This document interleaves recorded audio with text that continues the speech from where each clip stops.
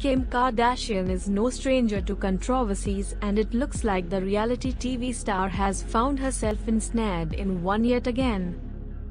The fashion icon faced the wrath of social media users after she posted photos of herself donning a traditional piece of jewelry from India, called a tikka.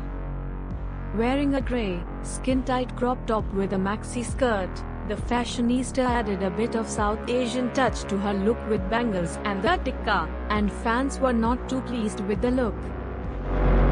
One user said, Now that you've stolen from South Asian culture to fit your aesthetics, why don't you donate to these countries if you appreciate their culture so much? Kim. Have a look.